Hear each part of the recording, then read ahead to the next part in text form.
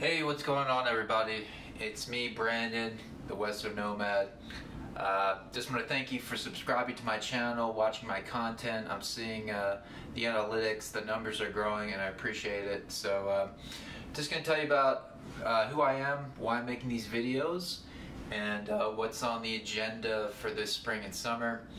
Um, I'm just a guy from Baltimore, Maryland, who packed up all my stuff and drove out here to Colorado Springs in the uh, spring of 2019, just as the pandemic was starting. Um, you know, a horrible time to travel, but uh, in in retrospect, it was one of the smartest things I've ever done.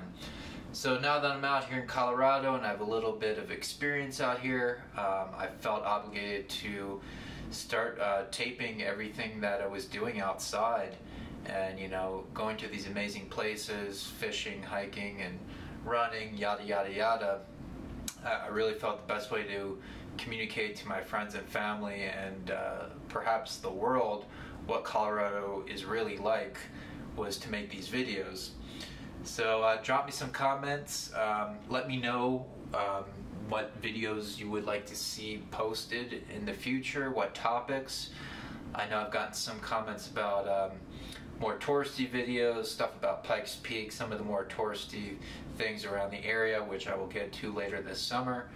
Um, I basically have a whiteboard here with 31 uh, places I want to visit this summer.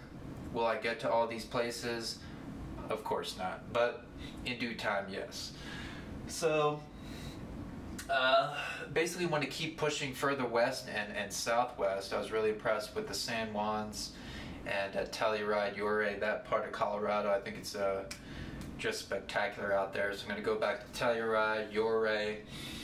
Um, I want to go to the Gunnison National Forest, visit Black Canyon, uh, sand dunes, Mesa Verde, San Isabel National Forest, uh, Commodore Mine.